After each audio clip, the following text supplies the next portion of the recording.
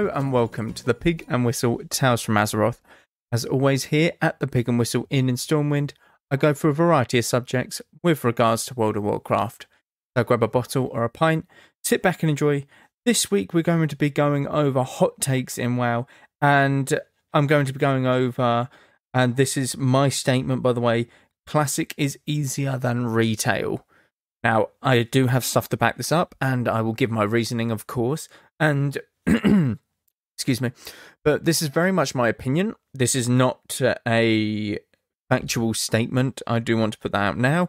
It is very much my own opinion, and these are going to be the reasons that I back it up, essentially. But it's going to be something that I do every now and again. Um, these sort of hot takes and maybe unfavorable takes, I guess is the way to say it. Um, this one is a bit more favorable, but there's uh, some really wacky ones that I can't think of at the top of my head, but probably I don't know, like mage is the best class in the game, or something like warrior is the best class. You know, something stupid like that. That's sort of a real hot take that not many people will agree with. Again, I'm not saying that; that is just an example.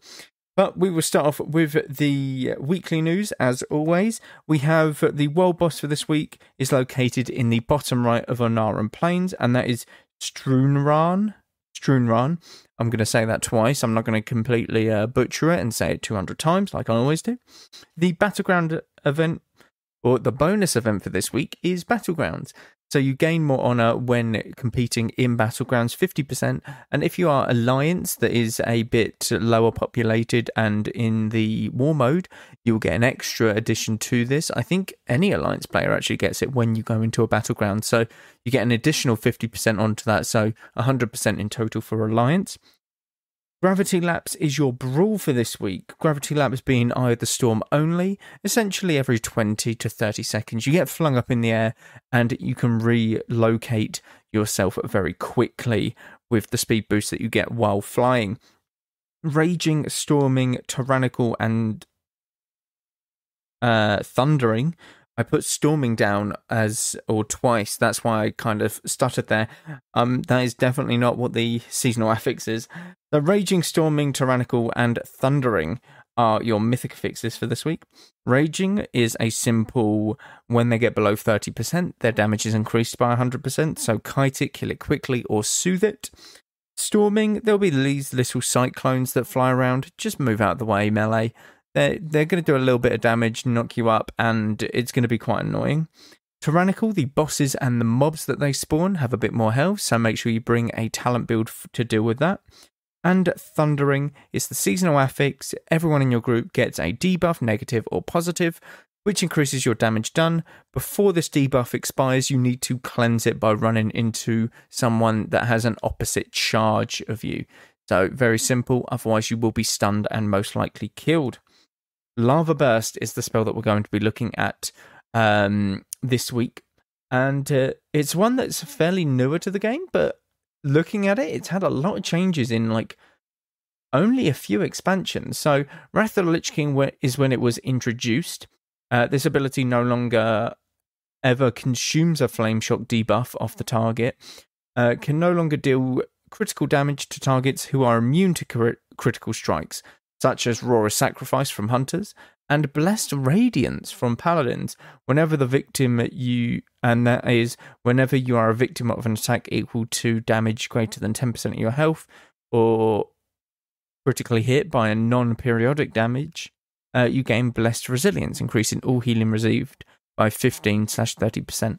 Okay, that is definitely not um, the Wrath of the Lich King talent. So yeah, I would imagine it makes you immune to being crit again for a couple seconds uh, in Wrath of Lich King.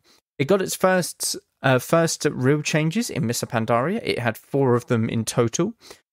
Starting off in 2012 in August. Now an elemental and restoration specialization ability only.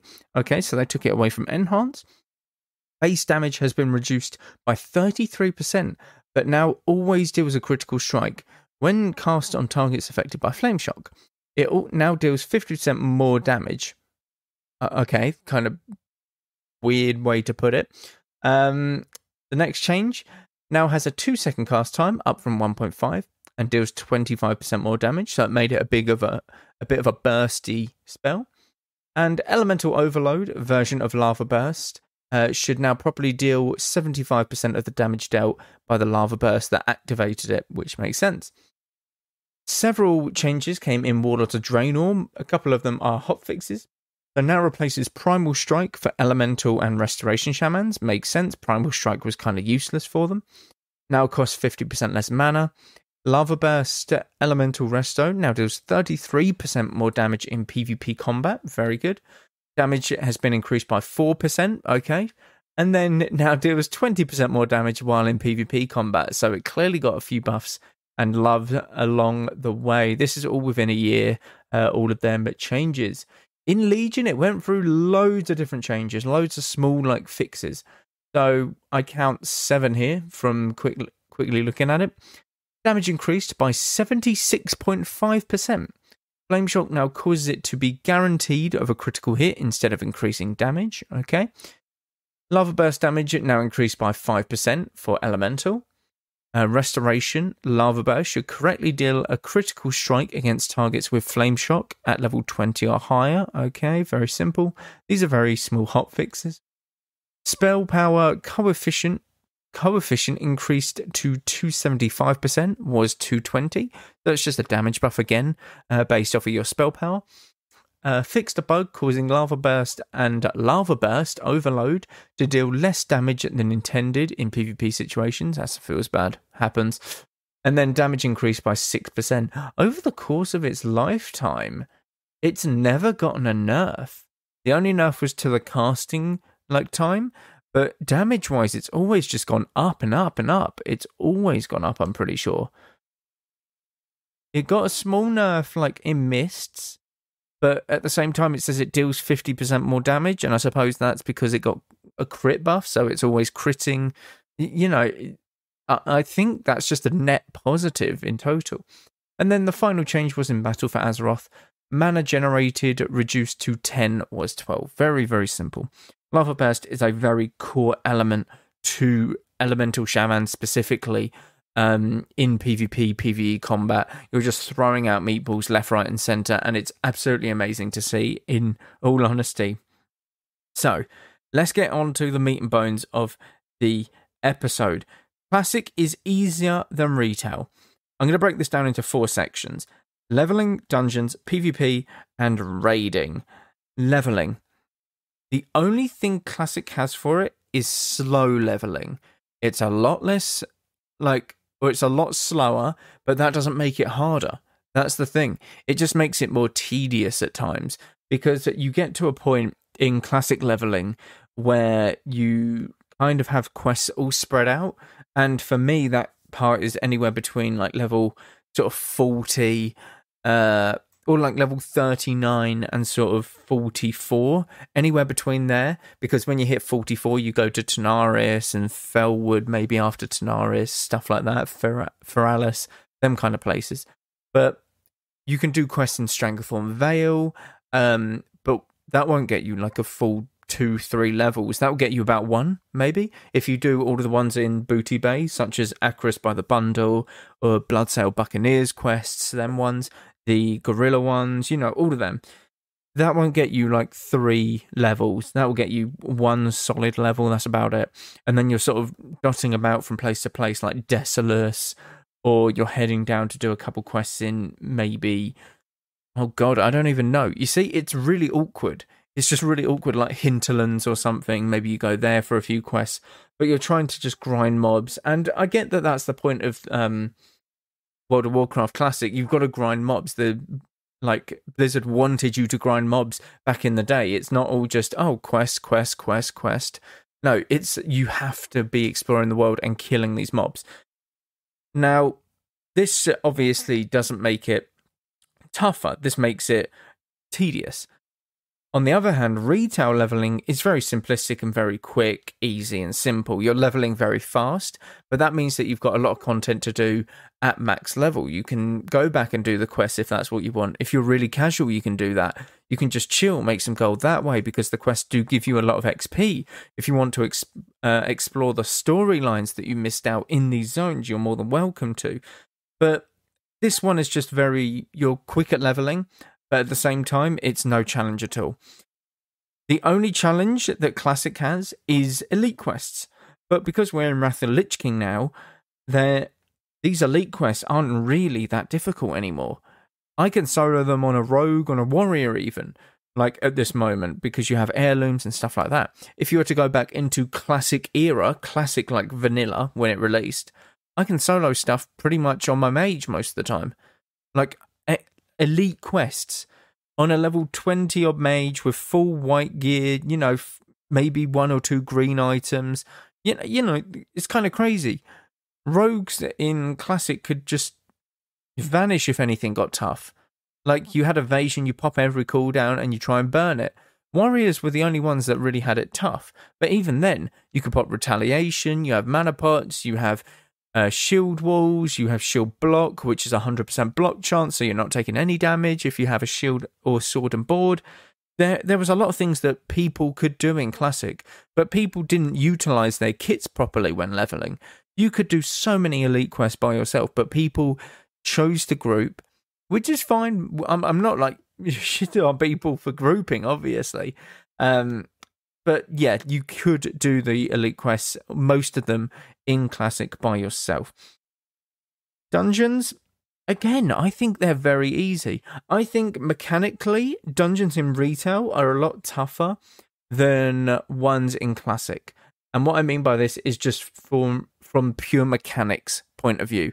So bosses, more mechanical stuff like that. Whereas if you look at full on classic, you know what? I'll compare it to okay, no, I will go through all of the classics, TBC, Wrath, and Vanilla Classic. I will be comparing it to all of them. If you look at Stratholme, what's the main boss at the end of Stratholme? Like, what does he do? He does a pulsating AoE, and I think a mortal strike. That's about it. He summons ghouls that die in one arcane explosion. Okay, that's fine. If you look at uh, Ruby life pools, You've got ads that spawn, which is fine, but at the same time, oh no, I, I really haven't done much dungeons in a uh, thingy. The one that I do remember is the last boss, where it's loads of fire being spit on the ground. You've got two bosses to deal with rather than just one. Loads of fire. You're in a very tight, sort of cramped area. The second to last boss in that same dungeon as well summons down a meteor.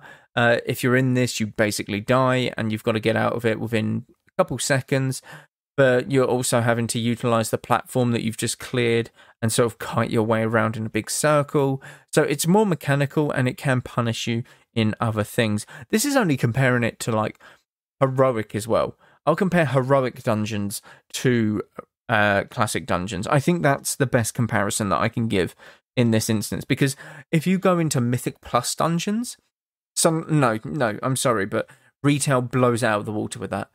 That is like what separates classic and retail players in terms of how easy a dungeon is. If I look at Heroic Plus and I see that as barely a mythic dungeon in classic, like you can do, I've done mythics like every now and again. I'm not like a mythic god in like retail, but I'm decent. I'm a decent player, and you know I'll do like if I can really if I really want to, I'll push for like Keystone Master, that kind of thing.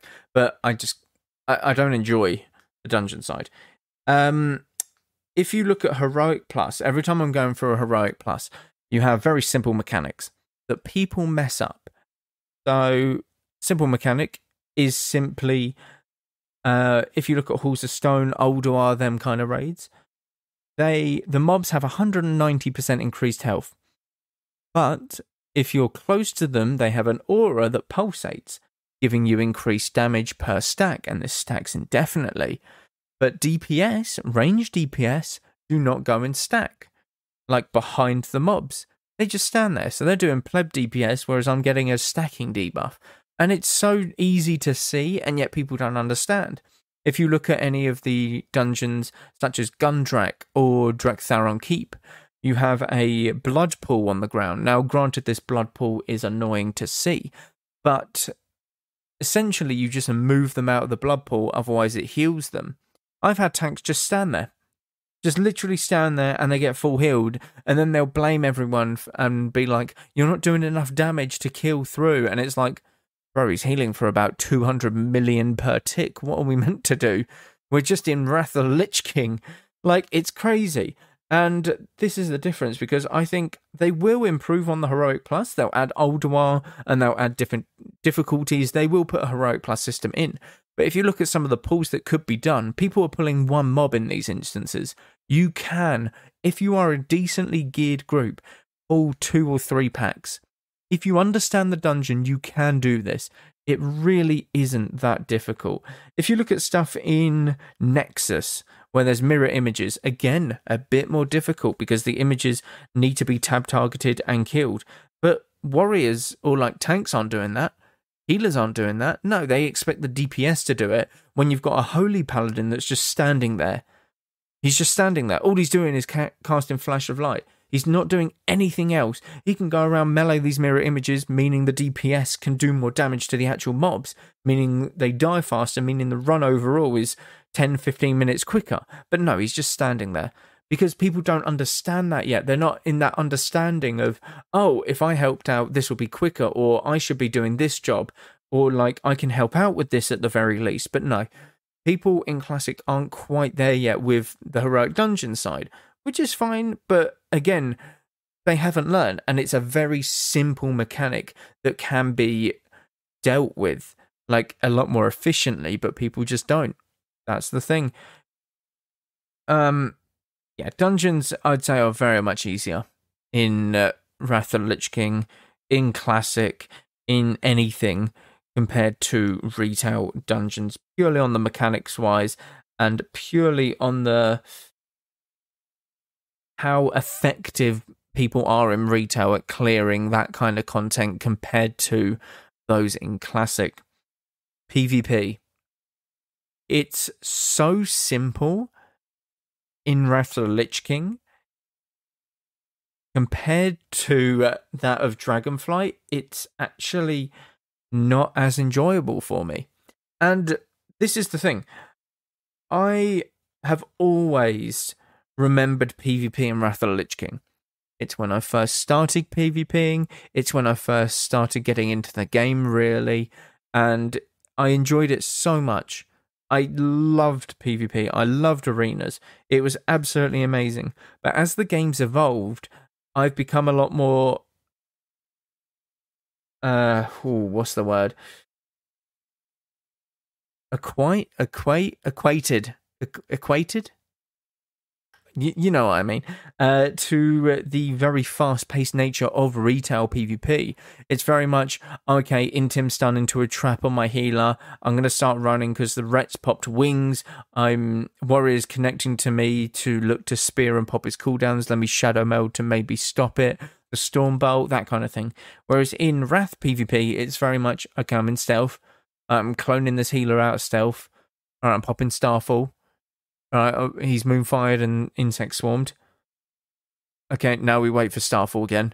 It's that kind of thing. Um, PvP is very much mana drain uh, in uh, Wrath as well, and it, it's just not enjoyable. It it feels so slow. It feels so lackluster, and that doesn't give me any sort of enjoyment or encouragement out of it. It seems so lethargic. Now, I get that this is obviously a lot more. Sorry, I just hit my uh, notepad. Um, mainly due to the fact that when I talk, uh, I express, so my hands are constantly moving. Um, but yeah, it, I've I've lost my train of thought now. I get that people enjoy this type of like PvP experience, but it feels so slow, and I'm always on edge when it comes to PvP. I'm always like, okay, what's happening now? What's happening now? I'm trying to play like 10D chess, even though the game is moving at a snail's pace compared to what I'm used to now.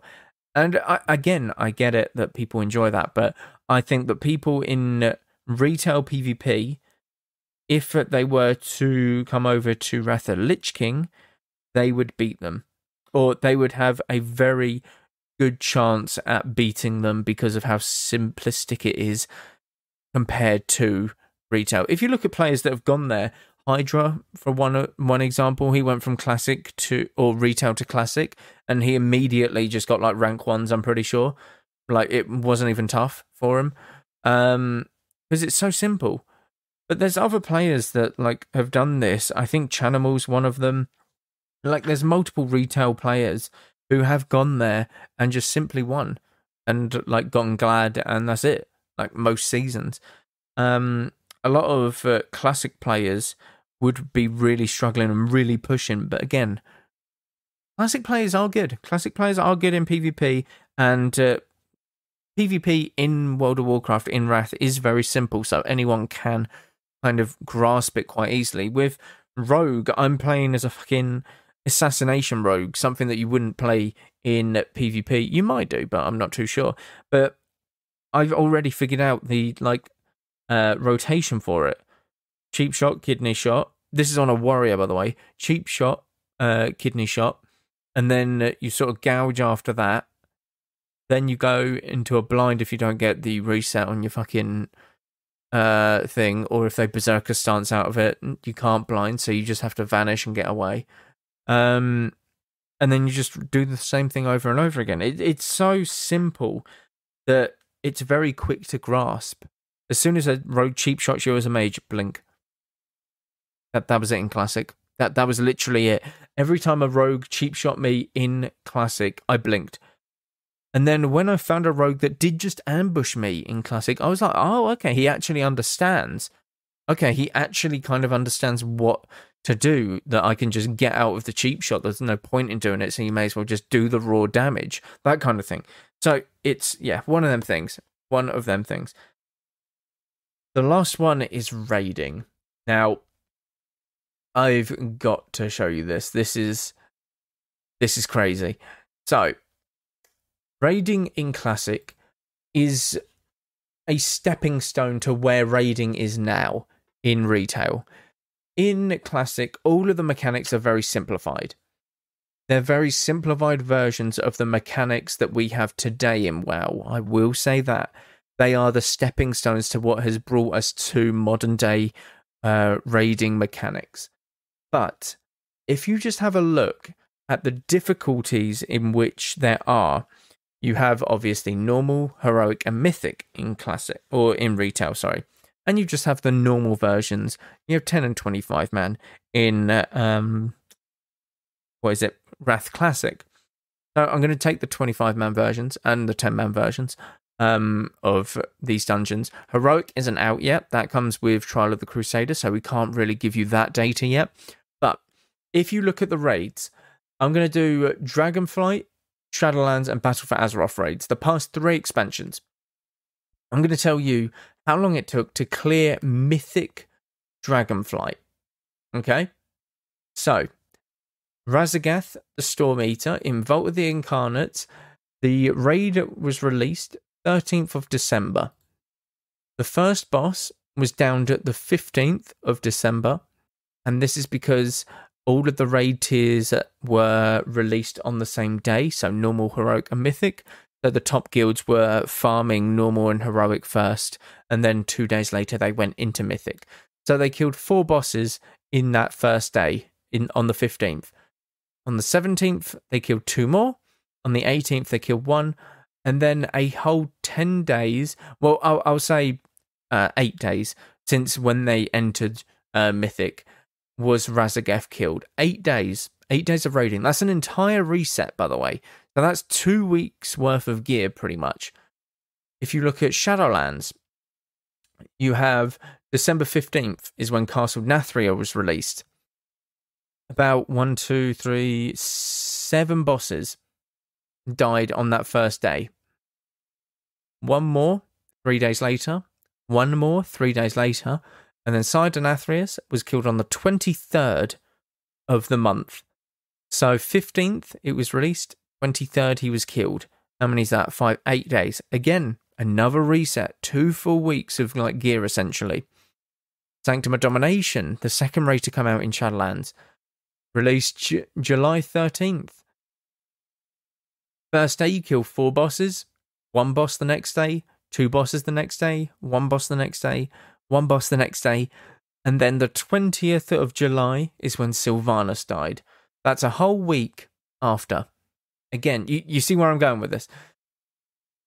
Sepulchre of the first ones, the last raid to be released, the last raid to be released in uh, Shadowlands, March 8th. Remember that date, March 8th.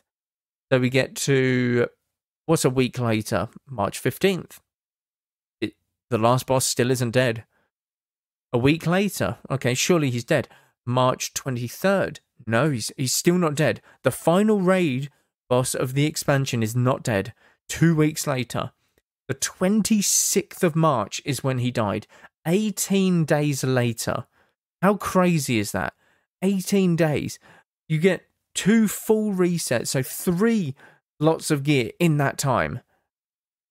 That's crazy. And this is not just like one guild progressing it. This is the world's first. So this is like every single guild or a lot of guilds are going for this world fi- first race. This is the very first kill that was that happened on the jailer in the last raid of um what is it? Shadowlands. I already forgot the expansion. Compare this to the raid history of Classic. Classic was released released 26th of August. On the 1st of September, Onyxia died. How many days are in August? How many days? How many days? Uh, let me see, let me see, let me see. 31. So, August 26th. When was it? When was the global release? I think it was late August 26th. I'm, I'm going to give them the extra day anyway. So August 26th, 27th, 28th, 29th, 30th, 31st, and the 1st. Seven days. It took them seven days to kill Onyxia. And this isn't progressing Onyxia. This is leveling from level 1 to 60, getting enough gear to go into Onyxia to kill her. And this is 40 people who needed to level to do this. So they did their entire leveling experience and killed the very first raid boss of the expansion or of WoW Classic in a week. Yeah, it's crazy. Molten Core, again, was released 26th of August 2019, the same week uh, Wrath or WoW Classic was released. Now, the first kill on Ragnaros came on the 1st of September 2019. Again, seven days, the same day Onyxia died. Even then, Molten Core, you had. You had one, two, three, four, five, six, seven, eight eight bosses dead. You had all of the bosses dead before uh, September. So literally five days after. The only reason they had to wait was so that people could do quests outside the raid in order to get to get douses to summon the next boss. Because you literally couldn't continue. That is the whole reason they had to stop there. Otherwise, they would have killed it on the 31st. Like, it's absolutely mental. Blackwing Lair. Now, this is a few months after the release of Classic. So everyone's already dinged. Everyone's already 60. They've got their raid groups. They're already farming Molten Core and Nixia. That's fine. Blackwing Lair released February 12th, 2020. Nefarian was killed February 12th, 2020, the exact same day. And I remember looking at this, and it took them about two hours to clear the entire instance. Two hours from when it was released, two hours to clear clear the entire thing. That's how simple it is. Now, you can obviously make the case of, oh, these raids have been out for years, and you know people already knew the like um, fights and how to play around it. Okay, that's fine. But it shows just how simplistic Classic is. Because if you apply that logic to raids, you can apply that logic to quests. Like, oh, this is very simple. Like, you summon a dragon and you kill it, or you kill Mor'Ladim, like who's running around Duskwood as a uh, 31 elite. That's fine. There's game mechanics to manipulate the NPCs in Classic, such as jumping over a fence because they can't run through fences, NPCs, they run around it. So you can constantly just slowly kill him that method. So if you're going to use that, oh, it's been out for years, you can use that excuse for quests, for dungeons. There's no reason why you should be wiping in dungeons then, is there? In Classic, because they've been out for years, right? So it's one of them things. Again, Temple of Ahn'Qiraj, released August 4th, killed August 4th. All of the bosses. Naxxramas, one of the hardest dungeons, or raids, sorry, to have ever been introduced and seen by like very few people in Classic themselves. Very few released December 3rd, 2020. Kel'Thuzad killed tw- 3rd of the 12th, 2020. It is so ridiculous how quickly stuff was killed. And you might think, oh, okay, this is just classic, you know, it's nothing crazy. Okay, listen to this. Listen, oh my god, listen to this. Burning Crusade released June 1st, 2021. June 1st, yeah? Gruul's Lair was one of the first raids, as well as Magtheridon's Lair and Karazhan. All of these were released from like the get go of Burning Crusade. Gruul's Lair cleared on the 2nd of June, one day after Burning Crusade's release. Magtheridon's Lair cleared 2nd of June, one day after the release. Karazhan cleared 2nd of June after the release all of it cleared within a day of the expansion release. Within a day. Like how crazy is it? If if Blizzard brought out a raid currently in retail and it was cleared that quickly by Mythic World First Raiders, like a day, it wouldn't take a day. Blizzard would be scolded for that because it's not entertaining, it's not good enough, it's nowhere near hard enough, that kind of thing. But you know, I have to give props to Blizzard in all in all honesty for this because they do make retail raids kind of perfect, like lengthwise. It's not too long, not too short. It's uh, Sepulchre of the first ones was kind of long. That took a couple weeks. I'm pretty sure one of the guilds did bow out. I think it was it wasn't Method, it was the other one. Oh my god. Liquid, I think it was Liquid. I think they did give up the day before it was uh, killed by Method. But yeah, all of these have been just absolutely decimated. Serpentshrine Cavern, 16th it was released, 16th of September, 16th of September it was killed. Tempest Keep, 16th of September, again, same day it was killed. Mount Hyjal, 27th of uh, Jan, uh, Jan, 27th of Jan, it was killed. Black Temple, 27th. Ah, in fairness, in fairness, this one did take a day to clear. Is there a reason for this? Aragorn No, it took a day to clear. That's fair enough. Black Temple did take a day. 28th of Jan. Well done. Okay, they did it. Sunwell Plateau, one of, and uh, I cannot stress this enough, this was one of the hardest raids, apparently, that people have ever done, like in the game. And yet it was cleared the same day. 12th of May, 2022. It, it's just, it's one of them things, man. That's why I think classic is easier than retail. The knowledge is there for obviously years and years, which is applied to dungeons, leveling, PvP, raiding. it's applied to everything, essentially. And uh, I think if you were to play retail and then go to classic, you would not feel out of your depth. Whereas if you play classic and go to retail, you would feel out your depth in any of these elements. Leveling, maybe not so much because both of them are very simple. In dungeons, you might get a bit lost, but it is very simple as well. But in PvP, you would be completely lost. In raiding, I think you would be so lost it's unreal. I, I just enjoy watching raiding for the fun of it, but doing raiding I I can't do to save my life. I find it so annoying. Um, because all I want to do is just punch essentially. Um, but yeah, essentially you would be lost if you went from raiding in classic to raiding in retail. But again, that's just because the mechanics that you know in classic are very simplified versions of the mechanics that are in retail. It's just move from fire.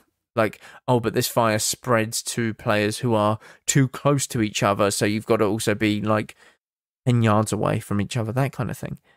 But, you know, it's it's kind of a hot take, but at the same time, it isn't because I think this consensus is kind of shared. Again, um, classic players can be just as good as retail players, and vice versa. But I think overall, retail has the highest skill ceiling compared to classic. But that's just my opinion. Again, just my opinion. Thank you all very much for listening to this episode. Do check out the Twitch as well as Patreon. It's all down below. Please check out. It would mean so much if you supported the show like more. And uh, yeah, once again, thank you all very much for listening. And go with Valor, friend. Goodbye, all.